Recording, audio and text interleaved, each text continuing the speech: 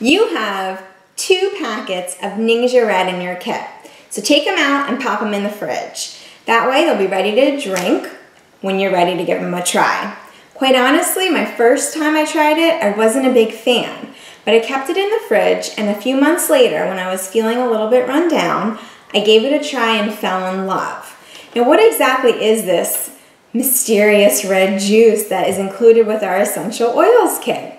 It is infused with essential oils and it is made from wolfberries that are harvested from the Ningxia region. This is how they got their name. And the wolfberry is just a fancy name for goji berry. Maybe you've heard of those. So, uh, very antioxidant rich berry.